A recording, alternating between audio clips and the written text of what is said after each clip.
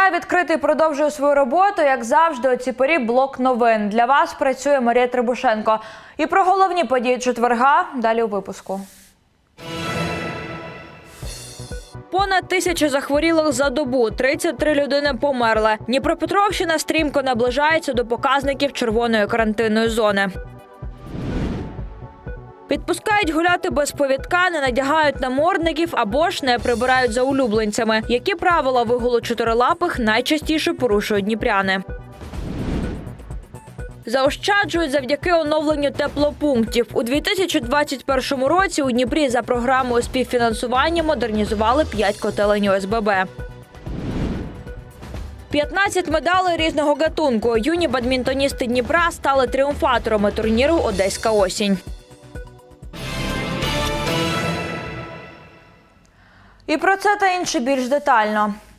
Дніпропетровщина у трійці антилідерів за кількістю інфікованих COVID-19 за добу. У регіоні понад тисяча нових заражених. Це рекордна кількість весни 2021-го. Стрімкий ріст нових випадків коронавірусу фіксують у Дніпрі, Кам'янському, Кривому Розі та Павлограді. Щоденно стаціонари області приймають зо дві сотні пацієнтів. Завантаженість ковідних ліжок понад 50%. Четверта хвиля коронавірусу накриває регіон. Констатують в обласному департаменті охорони здоров'я. Понад 90% захворілих це люди 60+.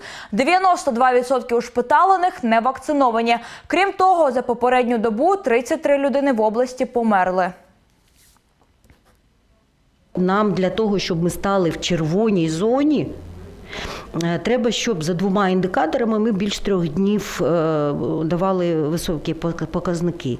Так у нас вже один показник, який свідчить про рівень госпіталізації, зростання рівня госпіталізації, вже два дні е, е, поспіль перевищує червоний рівень. Тобто по рівню госпіталізації пацієнтів ми вже перетнули ту межу, коли кажуть, що це черво- червоний рівень. С апреля месяца 21 больница Днепропетровской области, которая законтрактована с Национальной службой здоровья Украины, получила 356 миллионов гривен на лечение больных с ковидом. Национальная служба здоровья Украины оплачивает лечение пациентов с ковид согласно протоколов Министерства здравоохранения. То есть пациентам платить ничего не нужно. Если э, в больнице просят деньги с пациента, пациент имеет право жаловаться э, официально, либо э, форму заполнять на сайте НСЗУ, либо звонить на горячую линию Национальной службы здоровья Украины на 1677 Для кого щеплення проти COVID-19 є обов'язковим? Міністерство охорони здоров'я України затвердило перелік організацій, представники яких підлягають обов'язковій вакцинації проти коронавірусу. Наказ набере чинності через один місяць від дня його публікації. Тож уникнути імунізації не можуть освітяни, а також співробітники центральних органів влади, міністерств і їхніх структурних підрозділів, обласних, міських та районних держадміністрацій. Якщо люди не щепляться протягом місяця, їх відсторонять від роботи без збереження заробітної плати. Водночас українці, які мають протипоказання, не підлягатимуть обов'язковій вакцинації. Перша пігулка від COVID-19. Американська компанія Мерк оголосила, що їхня експериментальна пілюля від коронавірусу успішно пройшла випробування. Дослідження показали, ліки десь в половину знижують ризик госпіталізації чи смерті серед дорослих з легкою або середньою формами недуги. У Всесвітній організації охорони здоров'я вважають, що поява ліків від коронавірусу стане переломним моментом у боротьбі з хворобою. У разі схвалення це буде перша таблетка від ковід у світі.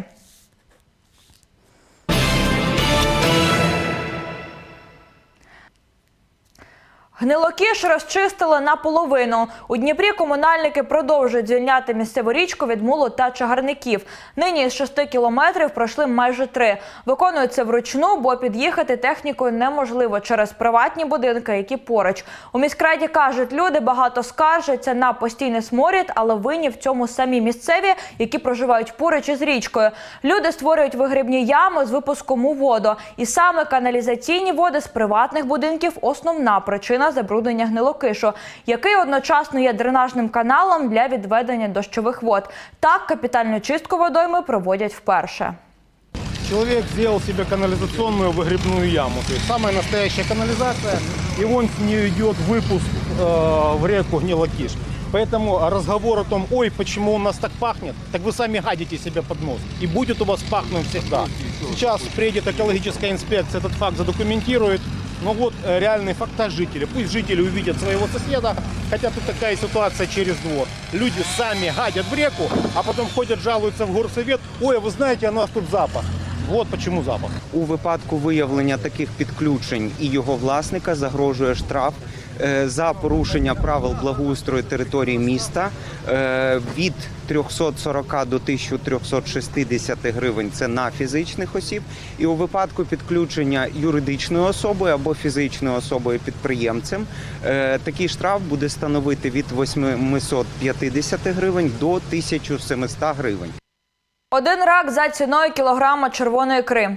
В Україні суттєво зросли штрафи за незаконний вилов риби. Таку ініціативу підтримав Кабмін України. Повідомляє Міністерство агрополітики. Таке підвищення через те, що востаннє штрафи переглядали 10 років тому.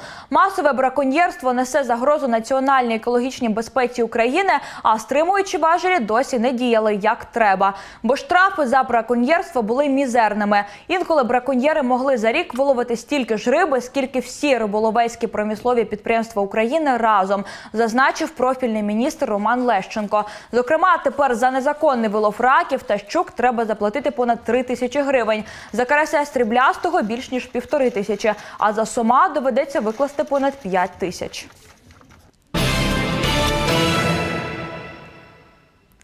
На Дніпропетровщині триває будівництво траси національного значення Н-31 Дніпро-Решетилівка.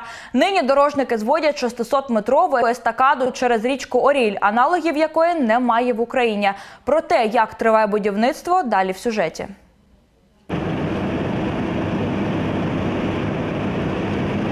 Мостовики, дорожники та спецтехніка працюють на трасі цілодобово. Нині кажуть підрядники, в них на черзі одна з найскладніших ділянок будівництва. На відрізку понад кілометр вони укладають багатошаровий дорожній одяг і зводять естакаду через річку Оріль. Зараз тривають підготовчі роботи. Будівельники монтують великий козловий кран. За його допомогою насуватимуть 600-метрову конструкцію естакади. Для того, щоб е, не ставити опори в основу річці, ми використовуємо по проєкту рішення е, шляхом надвіжки насування всієї конструкції на нові опори. Всього у нас буде 10 опор, і на них буде єдиним полотном е, насунута е, нова, нова транспортна розв'язка, тобто нова естакада. Це унікальний проєкт. До цього його не будували таким чином в Україні. Крім цього, за проєктом тут будуть й тунелі для проїзду сільгосптехніки та вільного проходу тварин. Загалом на ділянці за каналом буде понад півсотні штучних споруд. На цей час завершилось у Дніпропетровської області ремонт 30 кілометрів доріг. Зроблено перехід через Дніпро-Донбас канал і залиши- залишилось зробити останній відрізок 29 кілометрів. Водії з нетерпінням чекають завершення будівництва нової траси. Хорошу дорогу строїть в сторону Києва. Звісно, побистрій би її вже відкрили цей участок іменно до Дніпропетровської області. Звісно, проще буде, чим тут по селам ми їздимо за ограниченнями, а все-таки вийшов на пряму дорогу і пішов. Класна да, траса вообще буде супер. Коротше. Мені подобається. Побільше б таких коротше, дорог. Я їздю по всій Україні. Коротше, везде дороги робляться, це дуже добре. Коротше. Дождемося, поки вони зробляться, як в Європі будуть. Загальна довжина траси Н-31, що проходитиме Дніпропетровщиною, майже 60 кілометрів. Роботи планують завершити у 2022 році. Марія Требушенко, Роман Вашинов, Open News, телеканал відкритий. Дороги поміж будинків ремонтують поблизу чотирьох багатоповерхівок на вулиці Богдана Хмельницького у Дніпрі. Біля двох вже завершили укладати асфальт. Дороги поміж будинків ремонтують поблизу чотирьох багатоповерхівок на вулиці Богдана Хмельницького. Біля двох вже завершили укладати асфальт. Залишилося ще дві. На новенькі доріжки витратять понад 2,5 мільйона гривень з міської скарбниці. Завершено повністю роботи з демонтажу старого оперативного каменя та влаштування нового, влаштовано паркувальні кишені та е, кишені під сміттєві баки. Е, Влаштовано основ, ну, основу під асфальтопокриття і наразі сьогодні перший день на цих будинках, коли починається асфальтування. Олександр Кузьменко місцевий. Каже, має інвалідність і ходити йому тяжко, тож радіє рівненькій дорозі. Там и асфальт был, и щебень был, но оно же все в буграх, в ямах. Ну, по крайней мере, хоть пройтись можно будет по-человечески. Для меня как с палочкой. Загалом з початку 2021-го у Дніпрі відремонтували майже 100 внутрішньоквартальних доріг. До кінця року оновлять ще понад 20. Встановлять поміж будинків на Богдана Хмельницького й нові ліхтарі. На данной локации в прошлом году начались еще работы, было установлено две опоры, четыре светильника. В этом году э, запланировано, со следующей недели будем сюда э, заходить, еще установить э, 9 опор и 11 светильников, а также протянуть э, линию самонесущим изолированным проводом. Загалом у Дніпрі з початку року встановили приблизно 5 тисяч нових світильників і майже 800 стовпів. Також протягнули 117 кілометрів дроту, аби місто було освітлене як належить, говорить представник міськсвітла Андрій Кравець. Працювали і у приватному секторі, і на проїзних вулицях, і у центрі, і на околицях. Светло достаточно. У нас это уже дво- два года, как новые нам установили столбы и 2022 році і внутрішньоквартальних доріг, і ліхтарів у Дніпрі збираються замінити не менше, ніж цьогоріч. Галина Ізмайлова, Олександр Вернегоров, Опенюс, телеканал «Відкритий». Економія на теплі за рахунок осучаснення. Модернізувати свої котельні ОСББ Дніпра можуть за чверть вартості. Решту коштом міського бюджету. Зробити свої помешкання більш комфортними дніпряни можуть завдяки програмі співфінансування. Скористалися нею і співвласники будинку по Воскресенській 28. Написали проєкт, подали заявку і отримали гроші. Оновлення їхнього теплопункту вже на фініші. Деталі в наступному сюжеті. Цей будинок звели 1999-го. Відтоді там працює і будинкова котельня. Два роки тому в опалювальний сезон зламалася погодна станція. Це механізм, що відповідає за температуру теплоносія, який подають у помешкання людей. ОСМД подала заявку на софінансування на 2021 год.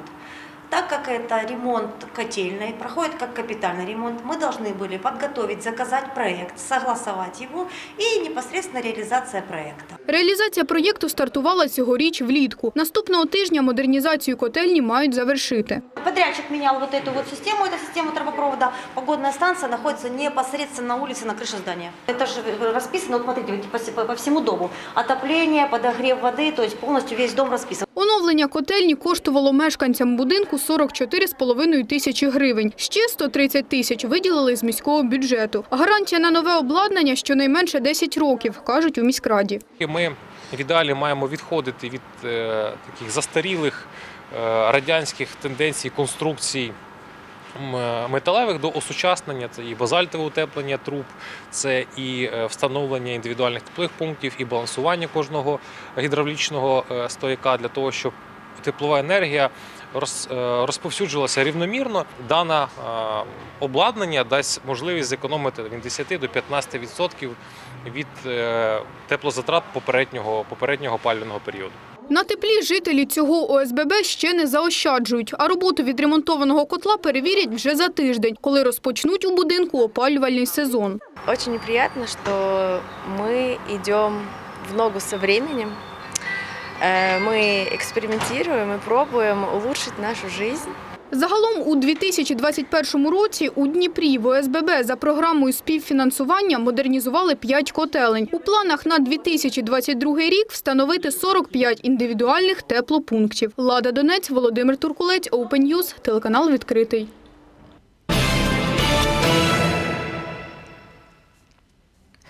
Відпускають гуляти самих і без повідків, не надягають намордників та не прибирають за улюбленцями. Такі правила вигулу чотирилапих у Дніпрі найчастіше порушують їхні господарі. Які наслідки такої безвідповідальності? Дізнавалася Вікторія Вахрушина.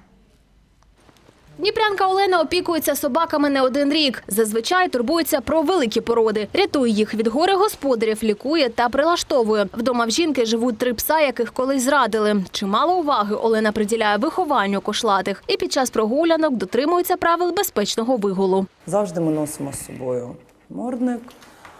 Багіра в мене завжди на повідку, бо люди, ну я ж не буду ходити з табличкою, що в мене собака дресирована, в неї є всі документи, і ну їй зовсім пофіг на, на, на, на дітей, вона їх не збирається їсти. Аріс в мене ходить без повідка по стану здоров'я. Такий виняток для великих собак передбачає чинне законодавство. Однак деякі правила, впевнена Олена Мосійчук, собакам не на користь, а навпаки шкодять. Та вважає, у документі має бути пункт про обов'язкову дресуру чотирилапого, адже так безпечніше для оточуючих. Собака охолоджує свій організм, відкриваючи рот. Чим більше вона його відкриває, тим їй спекотніше. Тому, наприклад, в цьому звичайному наморднику моя собака в плюс 40 може померти. Але якщо собака дресирована, якщо собака не несе загрози так людям і йде на короткому повідку, я вважаю, вона має право бути без намордника. А от у КП «Зооконтроль» зазначають, про агресивні собак та вигул без намордника до них надходять щомісяця понад півсотні скарг. Тому привчати собаку до спеціальної узди, кажуть, варто ще з маличку. Адже тоді це не завдаватиме дискомфорту собаці, а навпаки навіть може її врятувати. Вигул наморднику собаки це не тільки є безпека е, для людей, які е, знаходяться рядом з собакою, але це ще і безпека самої тварини, бо в наморднику собака не зможе е, з'їсти отруту, яка може бути на вулицях нашого міста. Вільно вигулювати тварин можна тільки у визначених місцях, у громадських місцях тільки на повідку. А у місцях масового скупчення і транспорті тварина має бути ще й у наморднику. Маленькі тварини у спеціальних контейнерах або на руках. Крім цього, за тваринами необхідно прибирати. Все це прописано у правилах, яких мають дотримуватися собачники. За порушення відповідальність. Це накладення штрафу або попередження на е, громадян від 1 до, до 3 е, неоподаткованих мінімумів доходів громадян і на посадових осіб від 3 до 5. Якщо е, порушення було скоєно повторно, Протягом року, то це вже буде на громадян е, від 3 до 5, а на посадових осіб від 4 до 7. Та штрафи від 50 до 100 гривень порушників не лякають, кажуть правоохоронці. Тому собака, вихованням якого не займаються господарі, може завдати шкоди перехожим. Як надати домедичну допомогу при укусі тварини, розказують лікарі. При укусе животного первая помощь может быть оказана и самим пациентом. Нужно промыть при наличии раны, и даже если нет раны, а было просто попадание слюны животного на кожный покров, нужно обильно вымыть это место щелочным раствором. Щелочной раствор – это хозяйственное мыло, промыть, и чтобы пациент приехал в лечебное учреждение. У більшості випадків лікарі призначають щеплення. Цьогоріч у Дніпрі поліціянти склали менше десятка протоколів про порушення правил виголу собак. Кажуть, насправді люди рідко звертаються до них з такими проблемами. Тому звертаються до городян. Якщо ви стали свідками небезпечного виголу чотирилапих, телефонуйте 102. Вікторія Вахрушина, Василь Самовар, Олександр Вернагоров, Володимир Туркулець. News, телеканал відкритий. Врятували пухнастика. У селі Веселикут Криворізького району з відкритого колодязя рятувальники витягли собаку. Пес провалився на глибину 6 метрів і вибратися самотужки не міг. Тваринку дістало швидко, її життю нічого не загрожує.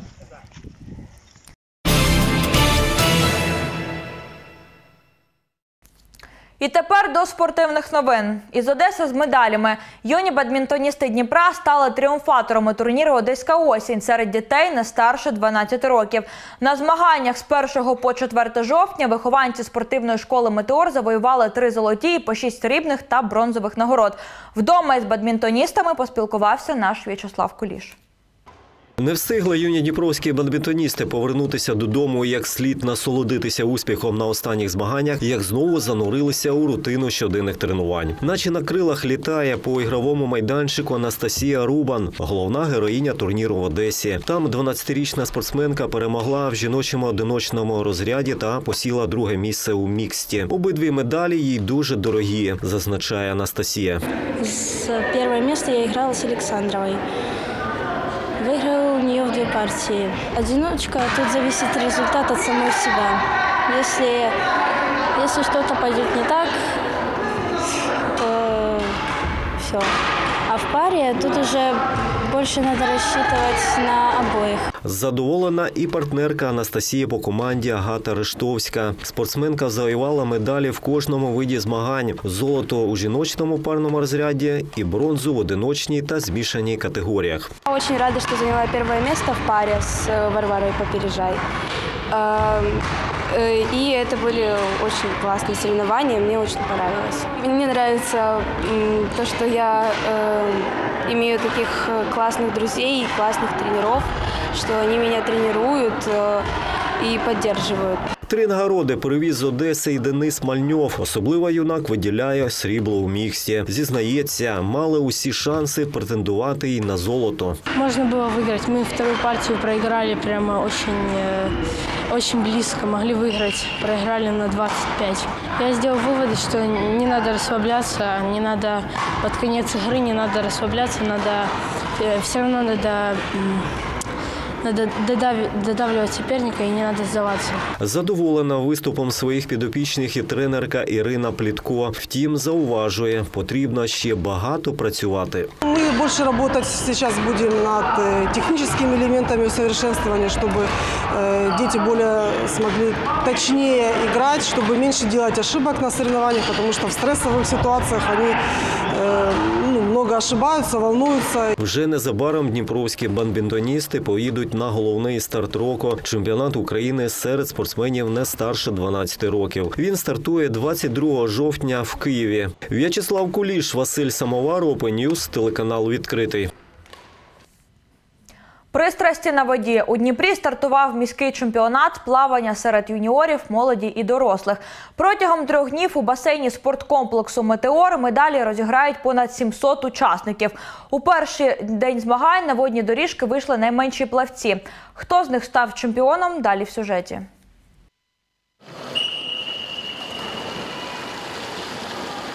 На старт спринтерської дистанції 100 метрів вільним стилем вийшла найбільша кількість учасників понад 130 юних плавців. У результаті серед 12-річних юнаків першим дістався фінішу Матвій Пащенко. 100 метрівку він здолав рівно за одну хвилину.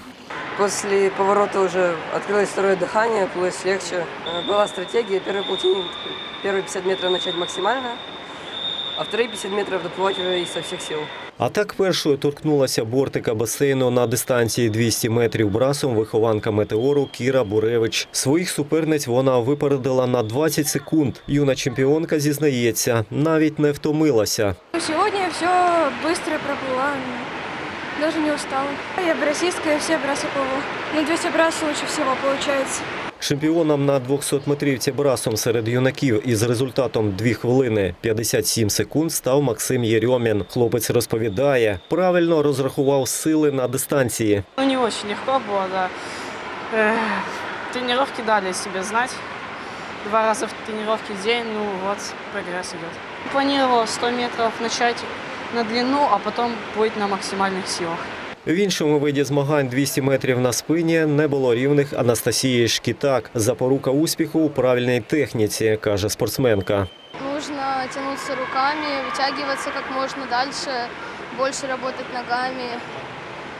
На поворотах нужно ну, правильно делать повороты. Міські змагання один з етапів підготовки до чемпіонату України. До національного старту плавці мають підійти в оптимальній спортивній формі, наголошують фахівці уровень спортсменов на высоте, как бы это уже традиция, что Днепропетровская область считается на чемпионате Украины э, самой сильной.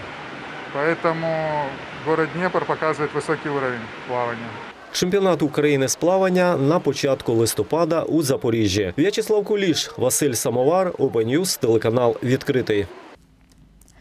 І ще інформація на останок. З понеділка, 11 жовтня, у Дніпрі розпочнеться ремонт ще одного трамвайного переїзду на перетині вулиці Востопольської та Медичної. На комунальному підприємстві Дніпровський електротранспорт зазначають, перекривати проїжджу частину на перехресті планують тільки вночі. Скільки триватимуть роботи, поки невідомо. Крім того, з 11 жовтня в Дніпрі почнуть ремонт ще одного переїзду на перетині вулиць Робочої та Криворізької.